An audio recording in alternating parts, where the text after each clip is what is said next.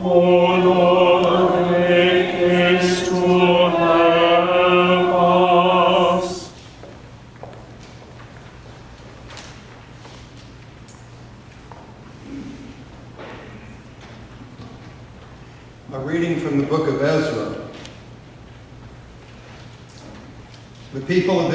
the priests and the Levites, and the rest of the returned exiles celebrated the dedication of this house of God with joy.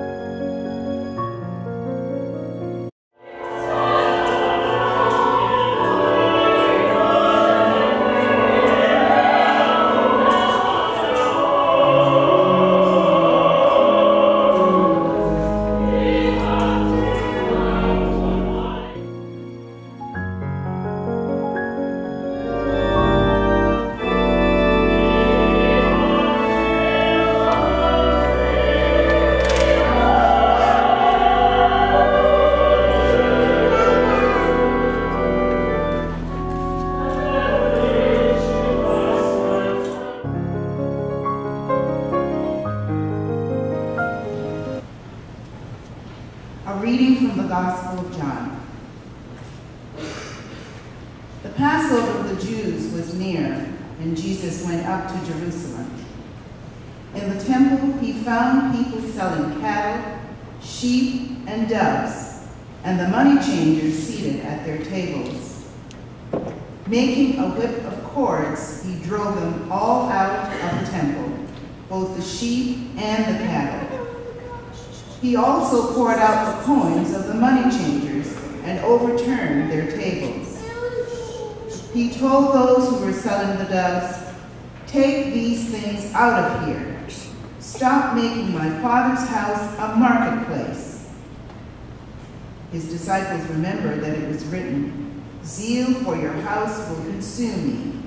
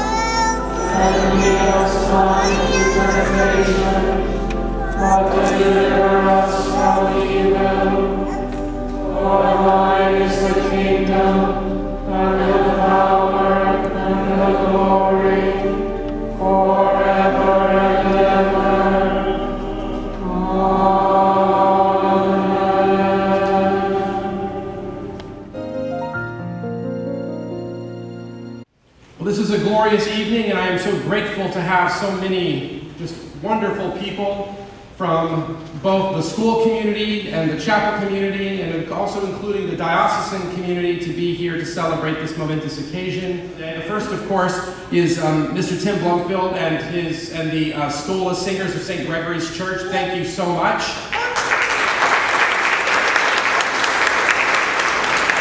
It is great to have them with us. St. Gregory's has played a historic role in both this school and in this church. This church was started as a mission of St. Gregory's, so it is really, truly wonderful to have you with us this evening. Um, of course, we are always blessed to have the bishop with us and to hear his dulcet tones this evening.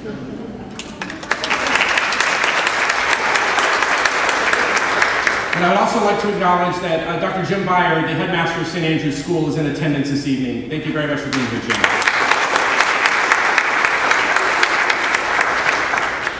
In the state of sunshine, land of lakes and pine, stands our alma mater in her sacred shrine. These words, for those who do not know, are the opening lyrics to the St. Andrew's School alma mater hymn penned by the hallowed Phyllis Gold many years ago. And this sacred shrine that she refers to is indeed the very space in which we currently find ourselves, this space we have gathered to celebrate this night. It is perhaps curious that we celebrate a building in this day and age. We find ourselves at a time where the trend is fewer buildings for our church communities, where buildings are seen by some as by some commentators as burdens or even as distractions. The church is people, they often remind us. The school is not a building or a collection of buildings, in this case, an increasing uh, amount of buildings. The school is, of course, the students. The school is the faculty, the staff, and the administration. Cyprianut, Rooks, Mariani, on their own, these are structures and nothing more. But the students who occupy and use these spaces grant to them vitality. Without the community, these are simply architectural projects. The buildings and the people each share a crucial interrelationship that gives life and identity to each. Today, I am in the rare position where I get to be both rector and chaplain. Usually I am one or the other, but tonight I get to be both.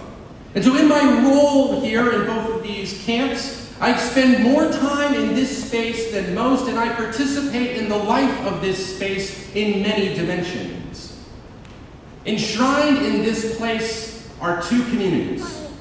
Now, the first is apparent the windows, the shields, the banner, the mace. This is an academic community. In here is where the movement and identity of that community are crystallized, are made apparent. Thousands of women and men have commenced their vocations from this very place. In here, soaked into the very arches and walls, is the residue of joyous celebration, the hopes and prayers sometimes left unuttered, of tumultuous teenage years, the echoes of confusion, concern, and conviction. This place enshrines the movements of the academic year. It enshrines the most crucial junctures of young life. The second community enshrined in this place is a people defined by a font and an altar. This is an ecclesiastical community, a parish community. In here, the risen Jesus is proclaimed. In here, new birth is celebrated and witnessed. People are nourished by the holy food and drink given by God. The rhythm of seasons and their affiliate prayers are housed in this room. Now, these are not two mutually exclusive communities, by the way. The shields and the banner and the windows of the academic community stand alongside the altar and font of the ecclesiastical community, both bearing witness to each, both resplendent in the glory of God's presence as experienced by each. The same space that has served to send forth graduates into God's world to work and serve has also served to ordain and commission over a dozen calls to ordained ministry, a multitude of lay ministries and missionary work to places like Haiti, Mauritania, Kenya, and Madagascar. Here in this chapel, we have celebrated the baptisms, the weddings, and the funerals of students, alumni, resident faculty, and parishioners, and any combination of the above. The members of St. Andrew's School and the members of the Chapel of St. Andrew are all inclusively the St. Andrew's community, and this fact is captured here in this space, this shrine. This building contains the people of God being formed for the work of God.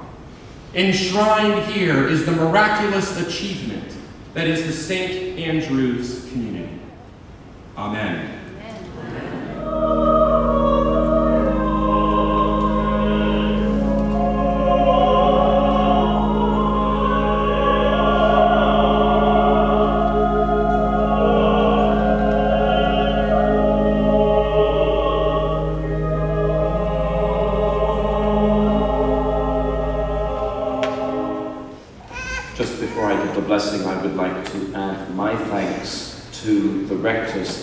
Thanks, to Father Charles and to the community here for including me in tonight's celebration. Uh, I'm very glad to see uh, Father Steve Zimmerman. Uh, we served together there.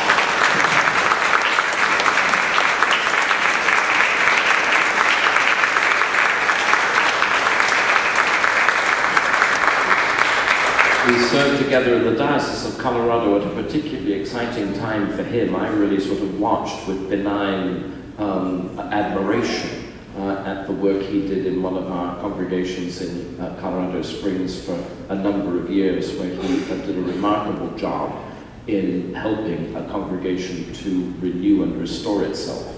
And so it's very good to see him. Um, uh, he, he does, however, um, uh, he's not perfect, uh, as, as wonderful as he is, he's not perfect because he's chosen uh, to retire uh, to the other side of the state in a much less superior diocese. Um, but we're very glad that he can find his way across Alligator Alley and we hope he'll come back again uh, to see us very soon. Uh, thank you all for being here tonight on this anniversary. The Lord be with you. The peace of God, which passes all understanding, keep your hearts and minds in the knowledge and love of God and of his Son, Jesus Christ our Lord. And the blessing of God Almighty, who is Father, Son, and Holy Spirit, be with you and remain with you forever. Amen.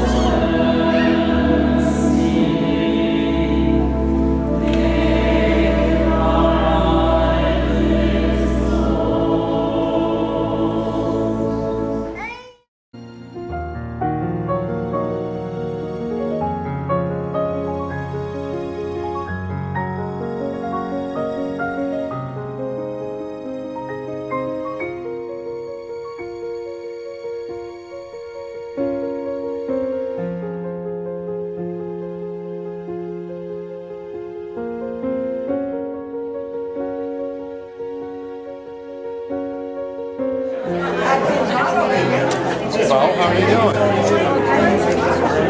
Good to see you. You.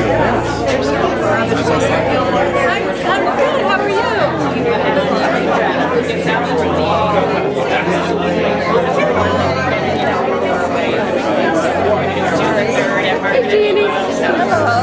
Oh, okay. I'm going to be sending out an invitation, but I'm going to tell you.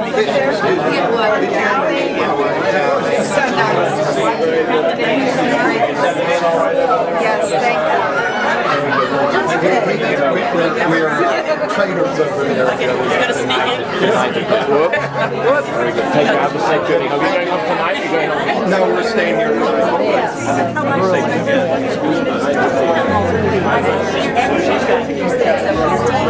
knew they were ordained. Both short, they were all not even ordained. Yeah, yeah, yeah, yeah, yeah, yeah,